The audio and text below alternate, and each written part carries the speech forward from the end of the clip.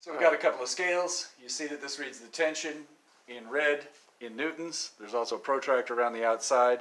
Obviously right now it's at zero because there's no weight hanging on here. I think I tilted this a little bit, so let me straighten that out. Same thing on that side. So I've got this funky little mass hanger, and what I'm going to do is hang it on here.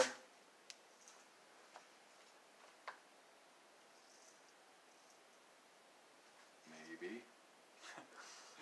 okay. So now I've got two 500 gram masses, sticking that on here. 500 grams. Another, whoa, almost went over. Still good.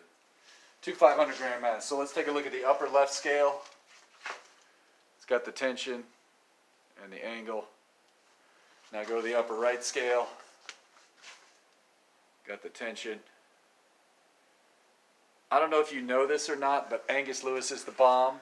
Hell yeah. All right, and so that's so now try and use that. Try and use that information to figure out the mass of the hanger.